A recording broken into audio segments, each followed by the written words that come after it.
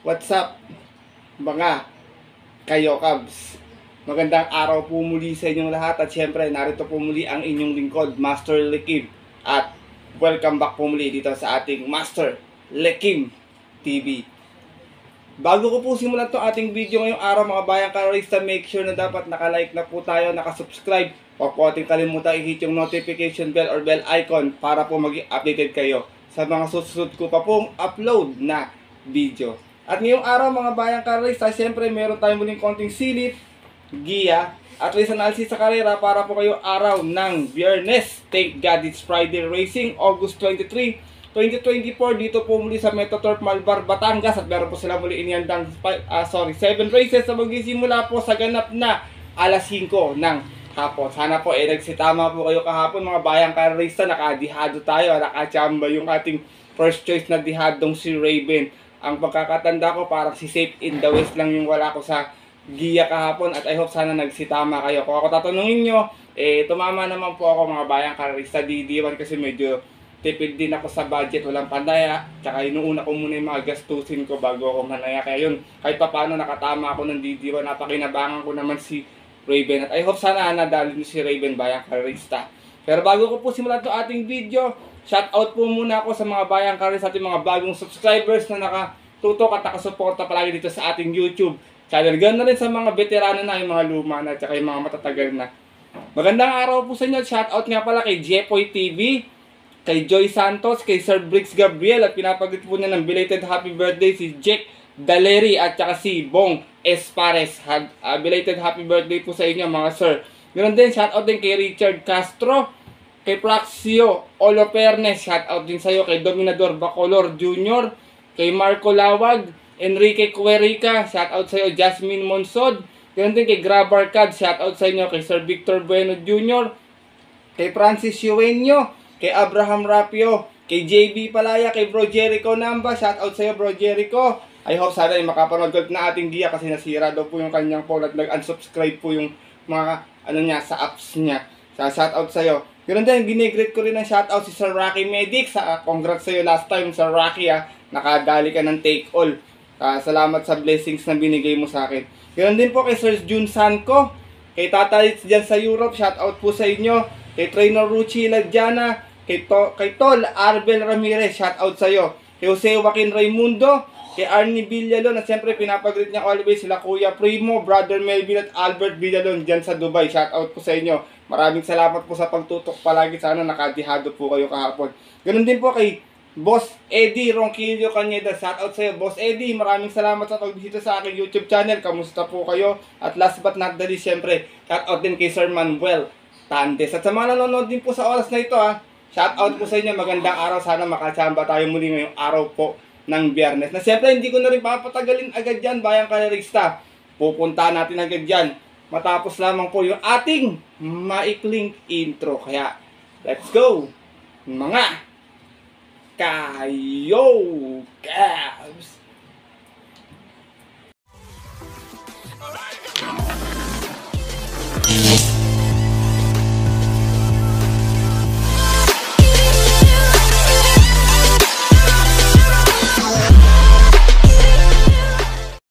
nga po nang nabanggit ko kayo na sa ating intro, meron po tayong 7 races na lalargaan ngayong araw ng biyernes. Siyempre, tigi-tigisang set muli ah. Take all, pick 6, pick 5, pick 4. Distansya natin mga bayang karista, meron tayo ditong tatlong 1200 at apat na 1400 meters. Medyo di naman gano'ng kahirapan or di naman gano'ng kadalian din yung ating line kasi alam niyo naman may mga lumulusot na dihado talaga, hindi maiwasan para magkaroon ng mga yummy dividends. Kaya kung may mga info po kayong nababalitaan pa or may mga kusunada pa kayo maliban po sa mga giyang ibibigay ko po ngayong araw bayang karista eh.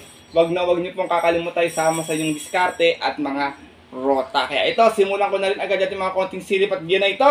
Wala nang patumpik-tumpik pa. Good luck po sa inyong lahat. Have a blessed Friday racing and start na po tayo.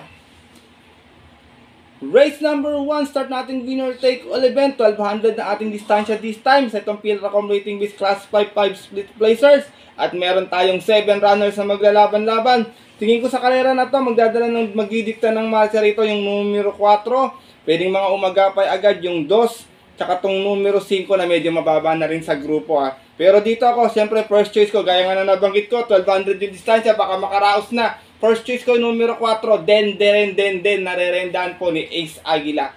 Last run niya sa 1200, meron tong 115.4 na segunda to. Medyo namitahan lang to eh. Kaya nagdala ng marcha, nagdikta ng karera. Out of 7 runs naglaban-laban. Same rating based din po. Yun po ng July 31 kung saan inabot nga po siya doon ng kabayong si Keep the Jade. From Alison Pabilik nun, this time ang rarenda, Ace Aguila. Para sa ating numero 4 si Den, Deren, Denden. Second choice ko to kahit uh, 1200 nakakarimati to. Medyo maganda naman yung post position kung maaalagaan niyo yung pwesto niyo tingin ko pagdating ng rektahan. Baka makaswak sa loob. Numero 1, Clairvoyant na rerendahan po ni Jomer Estorque.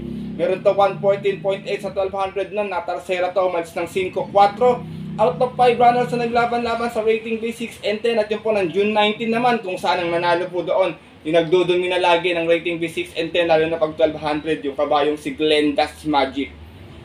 Same rider pa rin tayo rito, ha? Jomer Estorque para sa ating numero unong si Claire Boyan. Race number 1, mga bayang kalarista, nakikita ko na lang na sakaling may chamber rito, itong si Primero Soldado na tingin ko kumukuha lang ng tamang tempo, tsaka itong si Rancheros na nabanggit kong mababa na sa grupo. First choice ko po muli, magdadala ng marcha numero 4, Den Den Den. Second choice numero 1, Claire Boyan. Good luck po. At lipat na po tayo sa ating race number 2. Start naman natin pick 6 event. 1400 na ating distansya this time sa Tompil Accommodating Base Class 5, 11 to 15. At meron tayong 9 runners na maglalaban-laban. Ito magdadala ng Marta. Sigurado ko success of time tsaka tool of choice. Kung magkakaroon ng early speed battle sa unahan, eh, tingin ko, pwedeng makinabang yung mga nakaagapay sa pwestuhan o yung mga matutulis yung limate pagdating ng rektahan. First choice ko dito, numero 5, wala sa Kitty, walang star, baka makadihado agad. Stunning Tate, nare-rendahan po ni JR De Ocampo. Meron tong 129.8 na kung saan na, segunda to, umalis lamang ng 4-4. Out of 10 runners na naglaban-laban, same rating based din po, yun po ng July 28. Kung saan ang nanalo po doon yung nayamadong si Queen Gabby. Same rider pa rin, regular jockey, JR De Ocampo, para sa ating numero 5 si Stan in Bait. Second choice ko, numero 8, Lucky No. No, narerenda naman po ni JB Hernandez ito. Nanalo to noon sa 1400. May 129 flat po ito. Umalis ng 6-1 out of 9 runners na naglaban-laban. Sa rating base 6 and 10 lamang. At yung po ng July 27 naman. Tinalo naman po niya doon yung kabayong si Crown Jewel. Same rider pa rin, JB Hernandez. Para sa ating numero 8, si Lucky No. No. Eh sinasama ko pong third choice, numero 4, H.E. Holly. Narerendahan po ni Elvin Abredo. Kabay ito, lagi nasa timbangan to. Baka tingin ko, kumukuha lang ng tiyempo. Meron tong 130 last time, dumating itong pang-apat, umalis ng 4-5. Out of 10 runners na naglaban-laban, same rating basin po yun po ng August 16. Kung saan ang nanalo po doon, yung kabayong si Don Lucas. Same rider pa rin, Elvin Abrea. Para sa ating numero 4, si H.E. Holly. Race number 2, mga bayang kalarista, kung may nasisipat pang kursunada, kayo na pong bahala magdagdag na lamang. First choice ko po muli, Dihado numero 5, Stan and Fate. Second choice numero 8, Lucky No No. At third choice yung numero 4 si H.E. Holly. Good luck po. At lipat na po tayo dito sa ating race number 3. Simula naman ating pick 5 event. Dahil tayo sa 1200 na distansya. Field accommodating base class 5, 11 to 15 split muli. At meron tayong 8 runners na maglalaban-laban. At 1200 meters lang mga bayang karista. Kaya kakampiyan ko dito yung mga may angkin tulin sa unan talaga na medyo mahaba yung hininga. First choice ko dito, wala sa kitty, long shot of the day ko, numero 1, biglang buhos, narerendahan po ni JC De La Cruz. Itong kabayan ito, maganda yung post position. Tingin ko, baka maalagaan lang niya yung kwartos niya, makabuo ng dalawa. Tingin ko, pwedeng meta nila abutan o pwedeng di na nila abutan kasi distansya niya ito. Eh. Meron tong 115.4 sa 1200 noon kung saan nasigunda to. Umalis to ng 2-4 out of 8 rounds sa naglaban-laban. Same rating based din at yun po ng June 28 kung saan tinalo po siya doon ng kabayong si Buwayang Bato. Same rider na rin, JC De La Cruz para sa ating numero 1 si Biglang Buhos. Second choice ko, pwedeng umagapay agad sa pwestuhan, pwedeng, ano lang naman to, discarding isunod lang eh. Numero 3, high honors na rerendahan po ni O'Neal Cortez. Ito may best time tong 113.2 sa 1200, dumating pa to ng pang-apat nun. Umalis ng 2-2 out of 6,000 naglaban-laban. Sa rating list 1621 at yun po ng June 19. Doon po sa karerang napanalunan naman ng kabayong si Seychelles. Same rider pa rin tayo rito. O'Neal Cortez para sa ating numero 3 na si High Honors. Race number 3, mga bayang kalari, sa pagpaumanhin kung wala ako nung yamadong rocking bell, ah, kayo nang bala kung kursunado nyo kasi may mga iba pang mga chamba dito, gaya nung 4 at saka nung 8. Yung 8 na yan, talagang lagi rin palaban niya, kahit 1200, nakakachamba yan.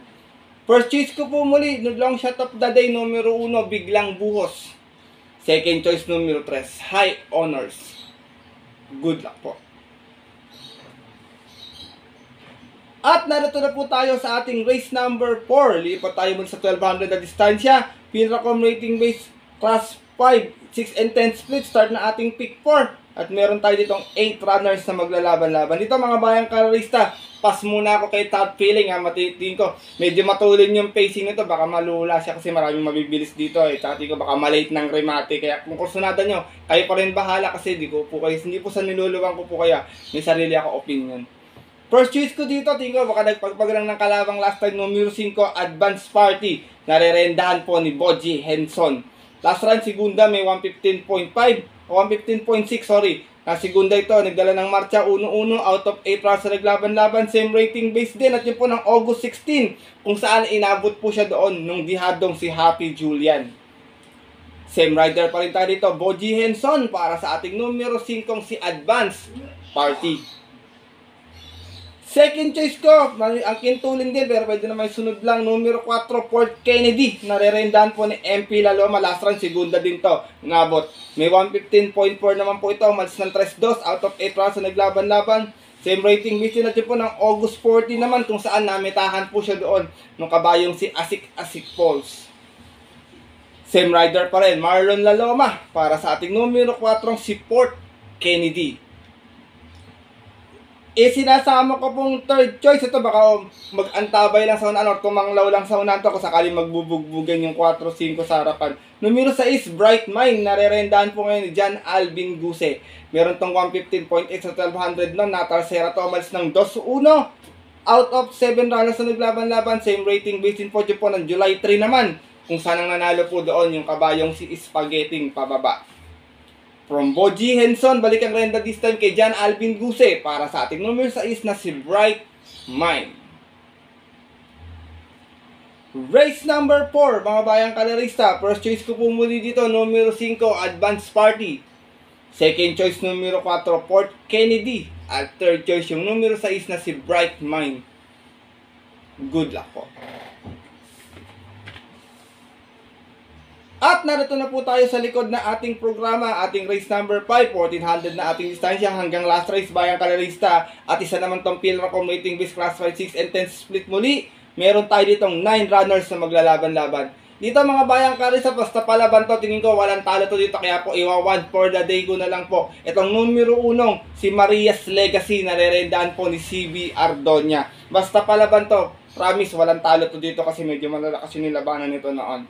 Meron tong 128.2 noon kung saan nasigunda ito umalis ng 4-4 out of 9 runners na naglaban-laban sa isang trophy race noong June 23 kung saan tinalo po siya doon nung nayamadong si Heroes Del 96. Same rider pa rin tayo dito, CB Ardonia para sa ating 1 for the day na numero 1 si Maria's Legacy. Race number 5, mga bayang kalalista, kung may nakikita kayo magandang pang-upset o makibalita na lang kayo, ako kayo na pong balang magdagdag na lamang dito sa race na to. Pero ako po, para sa akin, tingin ko eh, medyo pang, pambawas ng kapital, kaya binibigay ko po sa inyo 1 for the day. Itong numero 1 si Maria's Legacy. Good luck po. At narito na tayo sa ating penultimate race ngayong araw po ng biyernes. Ang ating race number 6, isa naman tong Pilracom rating base class for 22 and 27. Meron tayong 10 runners but 9 in betting number. to Medyo mataas na grupo ngayong araw ng biyernes eh. First choice ko po dito, nagbabalik Pista Imported Horse numero 9, Queen of the Nile. Narerendahan po ni JB Hernandez. Ito basta pa nakalago sa unahan to eh. Hindi kalalagyan sila dito. Kuling takbo nito, may 128 flat, dumating ng pampito. Umalis ng 1-1 out of 14 runs na naglaban-laban sa rating base 28-33 at yun po ng April 6 kung saan ang nanalo po doon yung kabayong si Fortissimo. From O'Neal Cortez, this time ang rerenda JB Hernandez para sa ating numero 9 si Queen of Denial. Second choice ko, matapang din sa unahan, numero 5, Asyong, narerenda naman po ni JC De La Cruz last run, may 129.4 lamang, dumating ng pang-apat, umalis ng 5-1, out of 7 runs na naglaban-laban, bagong baba din to dito, galing to ng 28-33 at yun po ng August 11 lamang, kung saan ang nanalo po doon, yung kabayong si Ninong. From O'Neal Cortez, this time ang rerenda, JC De La Cruz para sa ating numero 5 si Asyong.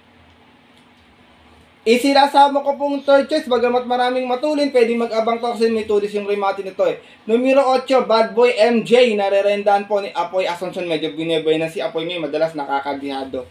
Meron tong 128 plus sa 1400, natalsera, umalis ng 6-6 out of 11 rounds na naglaban-laban. Same rating based din po, yun po ng March 24 naman. Yun po sa karerang napanalunan ng kabayong si California King. From Pabs M. Cabalejo, this time ang lerenda, ako ay Asunsyon para sa ating numero 8 si Bad Boy MJ. Race number 6, penultimate race ngayong araw ng Biyernes. Tingin ko mga may chamba pa dito, yung 1, tsaka yung numero 7 na lamang yan para sa akin na lang ang may chamba bayang karalista kayo. Nang bahala kung may masipat pa kayo, ako mabalitaan. First choice ko po muli, nagbabalik numero 9, Queen of Denial.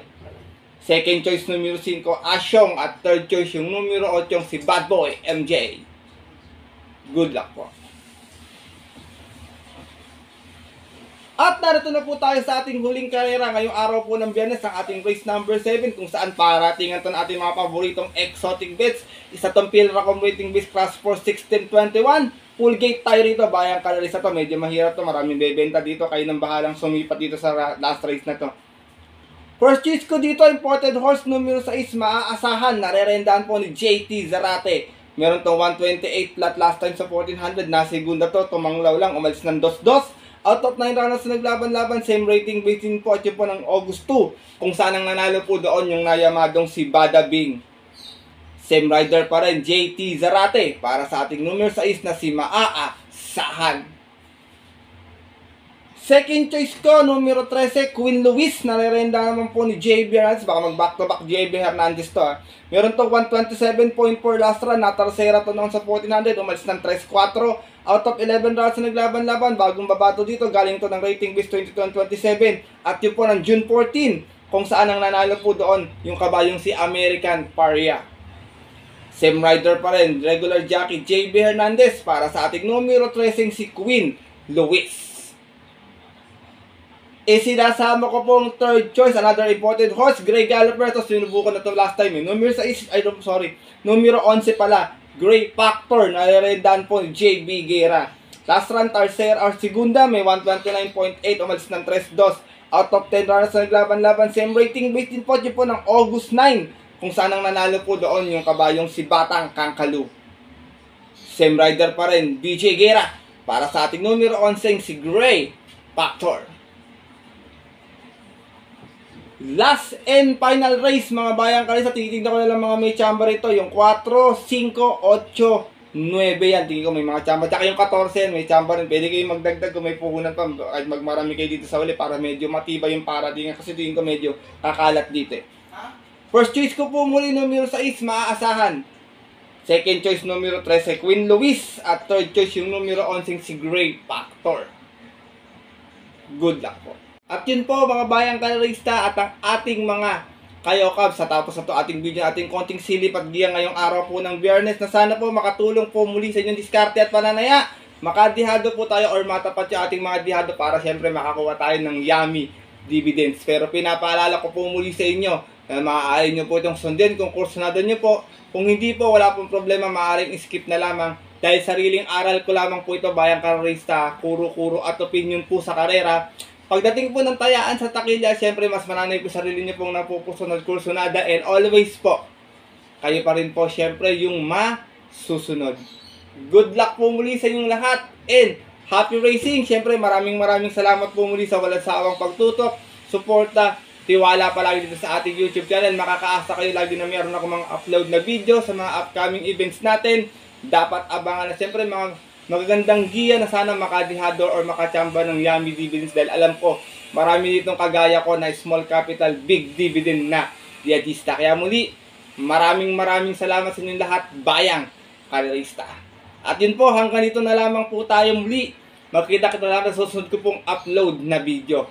Ito po muli ang inyong lingkod, Master Lekim, na always sa inyo nagsasabi at nagpapaalala na ang karera po, dapat po libangan lamang, dahil ito'y talagang tsambahan lang at talagang tapat-tapat lang. Minsan swerte, minsan malas, pero pag pinagbigyan po tayo siyempre ng nasa itaas, wag na wag natin kakalimutan magpasalamat sa Kanya at tumulong sa ating kapwa. Kahit sa simpleng pamamaraan lamang. Ika nga, share your blessings po. Good luck po muli and happy racing sa mga pupunta po ng OTVs para maagang pumila, tumaya, sa bahay na lang manonood. Stay safe everyone po sa inyo. God bless, bayang kalerista. Lalong-lalo na sa mga solid ditong dihadistang mga ka Yo Cabs. Alright.